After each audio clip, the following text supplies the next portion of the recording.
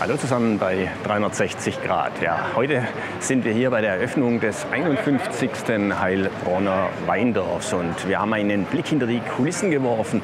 300.000 Besucher werden ja erwartet an insgesamt elf Tagen. 38 Weinstände gibt es mit mehr als 350 verschiedenen Weinsorten, die angeboten werden. Und eingeläutet wird das Weindorf natürlich traditionell mit einer Eröffnungsveranstaltung mit zahlreichen Ehrengästen, mit Ministerin Schopper, mit OB Harry Merge, mit einer Talkrunde mit Gästen aus Solothurn und mit musikalischer Untermalung. Und ein paar Impressionen davon, die zeigen wir Ihnen jetzt.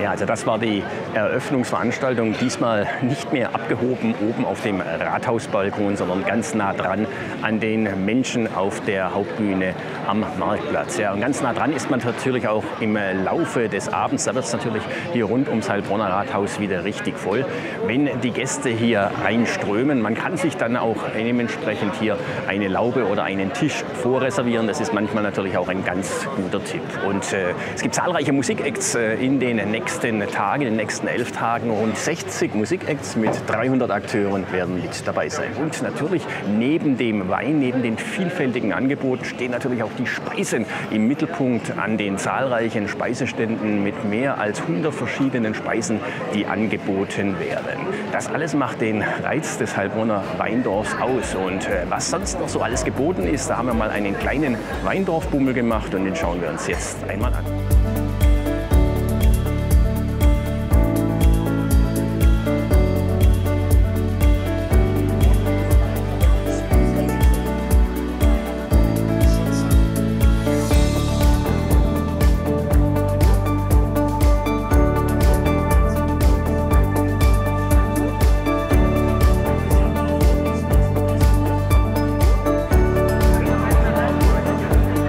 Pünktlich ist hier alles fertig geworden. Auch die Stadtbahn, die Kaiserstraße hier, ist wieder befahrbar und damit hat man natürlich auch die Möglichkeit, hier wieder mit den öffentlichen Verkehrsmitteln direkt bis zum Weindorf zu fahren. Und vor allen Dingen das abendliche Flair, da sehen wir auch mal ein paar Aufnahmen aus den letzten Jahren. Das lockt immer mehr Besucher hier zum Weindorf, auch wenn jetzt hier in der Mittagszeit natürlich dementsprechend heiße Temperaturen sind. Aber die Sonnensegel, die sorgen ja für ein paar schattige Momente. Ja, der Sommer der hat uns noch ein bisschen im Griff und das merkt man natürlich auch in den Freibädern an den Seen. Und ähm, erst war es einem ja zu kühl und regnerisch, jetzt ist es einem zu heiß.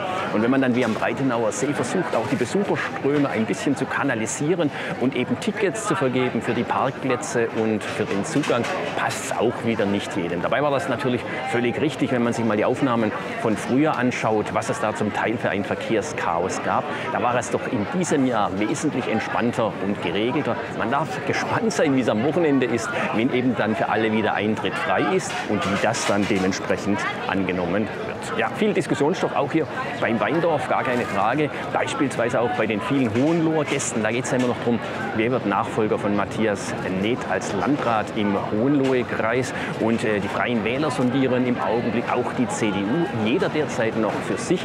Vielleicht wird es am Ende doch noch ein gemeinsamer Kandidat werden, der dann dort in Hohenlohe das Amt übernimmt. Ja, nicht ganz so positiv ist das, was man in Sachen Bahn auch in dieser Woche einmal lesen durfte, erfahren durfte. Und Diskussionen über die Frankenbahn, über den ICE-Anschluss in Heilbronn, die gehen ja schon lange Zeit. Und Landrat Häuser ist natürlich auch ein bisschen sauer, dass seine Initiative für die Frankenbahn von vielen so kritisch gesehen wird. Dabei braucht es ja kleine Schritte in eine positivere Zukunft, eine bessere Anbindung, vor allen Dingen auf den Regionalstrecken in Richtung Würzburg, Mannheim und Stuttgart. Da fehlt es ja an vielem. Und das bringt allemal mehr als ein ICE, der sich aufgrund der schlechten Schieneninfrastruktur durch die Region nur mit Minimaltempo durchschlängeln könnte.